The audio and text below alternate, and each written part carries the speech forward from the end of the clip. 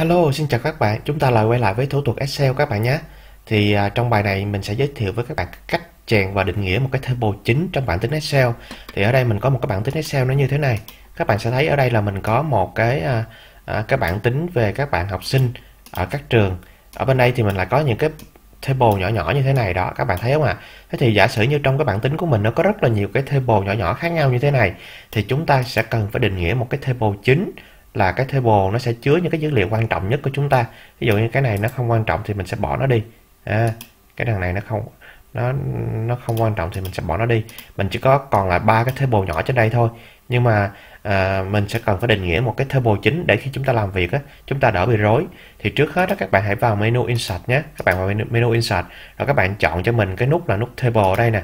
Rồi sau đó chúng ta sẽ đi bôi đen cái khu vực bôi đen cái khu vực mà chúng ta sẽ cho nó chính là cái table chính của chúng ta. Thì lúc này chúng ta sẽ chọn ok nhé ok. Đó các bạn thấy không? Thì lúc này cái table của chúng ta nó trở thành cái table chính.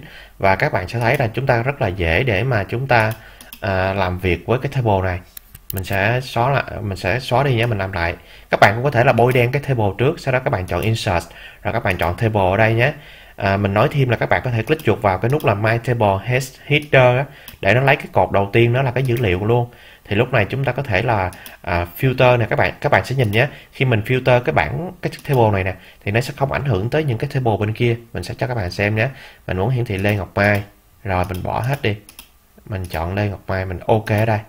Đó các bạn sẽ nhìn thấy không? Đó đây là cái table chính của mình. Đó rồi tiếp tục nhé. Mình chọn ok nha rồi thì khi mà các bạn định nghĩa ra một cái table ở trong Excel như thế này thì nó sẽ giúp cho các bạn in ấn nó dễ hơn. Khi mà các bạn chọn in á các bạn chỉ có thể các bạn thích thì các bạn in in đúng đúng mọi cái table này thôi. Các bạn không in những cái table khác cũng được ha. Rất là đơn giản luôn. À, về cái thủ thuật in ấn thì mình sẽ nói sau trong những cái chuỗi bài tiếp theo nhưng mà trong cái bài này thì mình sẽ nói với các bạn cái cách là khi chúng ta làm việc với bảng tính Excel, chúng ta nên định nghĩa cái table này là table chính.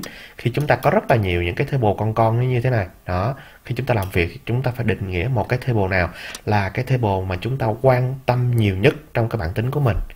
Ok À, cảm ơn các bạn đã quan tâm tới cái thủ thuật nhỏ này trong Excel.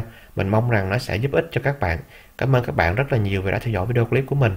Mong rằng các bạn sẽ đăng ký kênh để ủng hộ mình nhé. Nếu có câu hỏi, có thắc mắc các bạn hãy comment phía bên dưới. À, ngoài ra bây giờ mình có để một số cái video trên màn hình đó. Các bạn có thể click chuột vào để tiếp tục theo dõi những cái thủ thuật khác về Excel các bạn nhé. Cảm ơn các bạn rất là nhiều. Chào tạm biệt các bạn và hẹn gặp lại nhé. Xin chào.